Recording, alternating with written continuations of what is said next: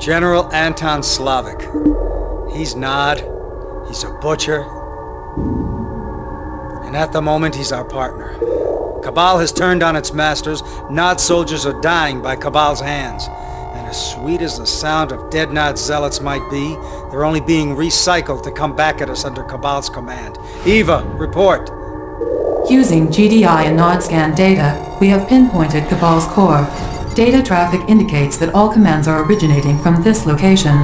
Right. Now look at what we're up against. We can't get close. However, there are two ancillary facilities that support the main base. A joint effort assault has been planned. One by us, one by Nod. Dr. Boudreau, if you will. Although the operation on Colony 6 was a relative success, Cabal is attacking civilian settlements. He kills the old and the infirm and takes the rest for consumption into his army.